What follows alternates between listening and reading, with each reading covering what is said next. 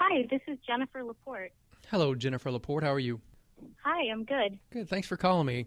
I know typical in your line of work probably isn't the same as most, but what's a typical day for you? What do you normally do on a Wednesday? Um, I'm actually in between classes right now because I um, am studying acting at a conservatory here in New York. So I'm a full time student right now doing that, um, and I have uh, a year and a half left of that training. But um, so it's perfect timing to call you during this. But I, yeah, I every day I go to my studio and I um, am doing scene work and I'm doing voice work and movement work, and it's a blast, and I love it.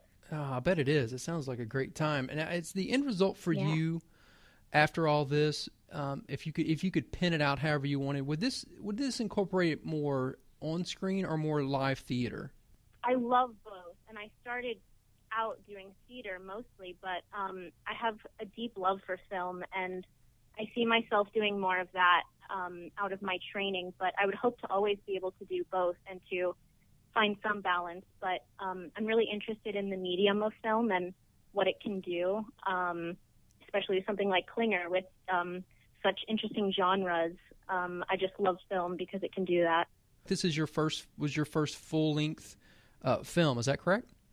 Yeah, that's right. Why this one?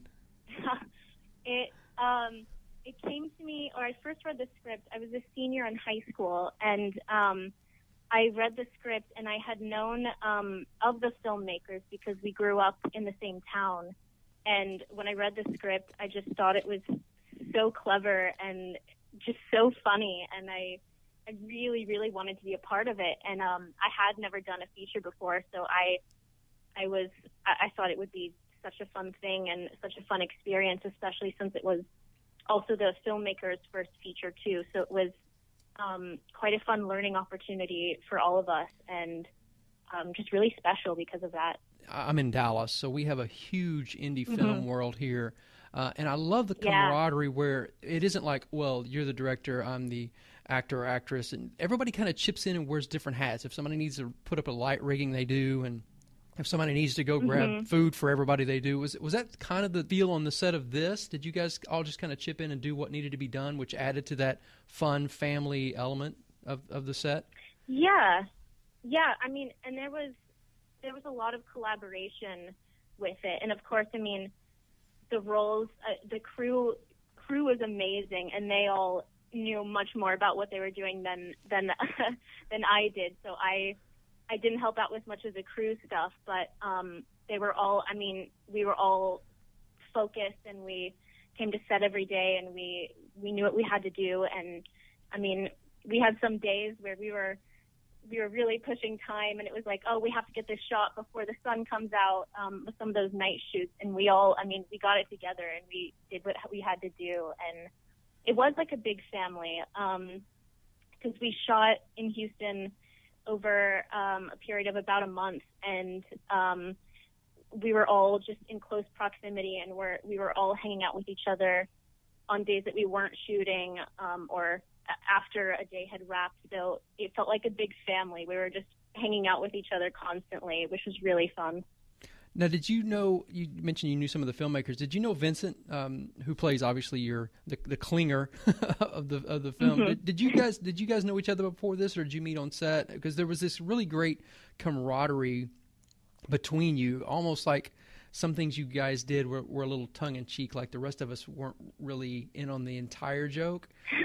Was that something that Yeah, you, you guys I- had known? No, I did not know him before, um, and I I didn't know who would be playing that part until like a week before we started shooting, um, and then I met him the first day on set, and um, he was so cool. Yeah, right off the bat we hit it off, and he was um, he was just so fun to work with because he's he's so great at comedy, and so I mean there would be scenes we were doing where he would be improvising a little bit at the end and it would just be really hard for me to not break because he's just he's just such a funny person naturally so um it was a blast working with him yeah and he really kept the energy up too on set when we had some really long um night shoots where we were all kind of going crazy and loopy and um it was fun to work on him with that And you talked about some of the, the improv. Do you personally? I know this was your first role, but as you got into some of the different scenes, do you like to be directed a lot, or do you like the flexibility of, of fleshing out your character and, and finding new nuances to do that? And were you given that that sort of a freedom? Yeah, um, Michael was awesome because I mean the film the filmmakers were also the writers, so they knew the story and they they had of course their visions of what the arc of the characters um, needed to be, and um, Michael, our director, was really open to collaboration, and we were always we would always talk through a scene and talk through kind of the state of the character's relationship um, because it is it's kind of a it goes back and forth between these two characters um, throughout the whole film, whether they are they love each other or they hate each other, and um, so it was he was very open to collaboration, and I enjoyed that, and he and um, I did yeah I found he he definitely gave us lead to find a lot of freedom as well and to have our own ideas with it, which I really appreciated. Yeah, now the horror genre, especially in, in the comedy horror genre like this is, I mean, there, there's so much there's so much fun in this and poking fun at things. The the fan base for these sort of movies has to be one of the most dedicated out there. Uh, were you a, a, fan of this genre? Do you kind of lean toward these, uh, or, or is horror just kind of like to- totally out of your box of what you would prefer to watch or see? Not that that's a bad, not that that's a bad thing either way. Oh yeah, no. I this was my first experience really diving into the horror genre. I always I enjoyed um enjoy the horror genre um more as I got a little bit older because my my parents when I was younger of course were very protective of letting me watch, you know, the Saw and the Texas Chainsaw Massacre and that kind of thing. But um good for I them.